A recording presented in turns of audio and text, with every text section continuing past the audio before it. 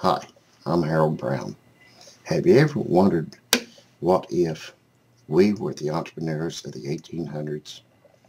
Would you be the person driving the covered wagon, covered in pots and pans, with lotions and potions in the back? Would we have been the type entrepreneur that townspeople would welcome with open arms? Or would we be the type entrepreneur the sheriff is looking for to run out of town?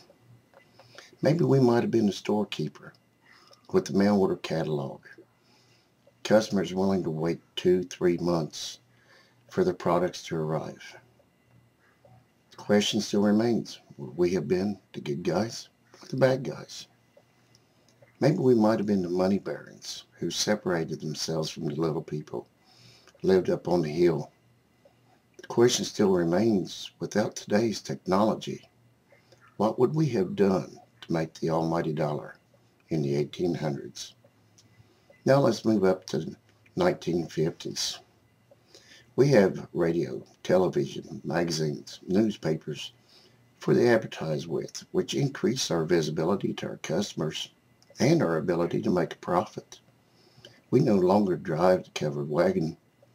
We go from door to door selling our goods. The mail order catalog still exists and your products are received much quicker. The money barons are still in existence.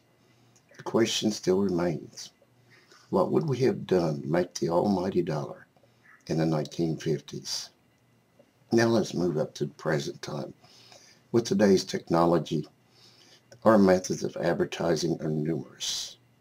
With the internet, we can advertise customers all four corners of the world. We have seen a revolution in internet marketing like no one else has ever seen before. Have you ever wondered what if the entrepreneurs that came before us allowed greed to control their path and kept all the secrets and technology to themselves? How many of our present day entrepreneurs are there out there that would have failed in their internet marketing business without the knowledge we have today? I am so grateful that the entrepreneurs that came before us did not allow greed to control their path and look to find a way to help others live their dreams through internet marketing. The next time you see the entrepreneur that came before you, you should tell him how grateful you are because with the training and assistance they gave, it was possible for you to become an entrepreneur.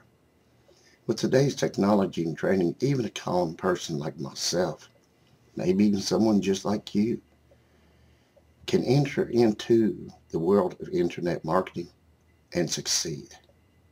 Today's entrepreneurs are the good guys.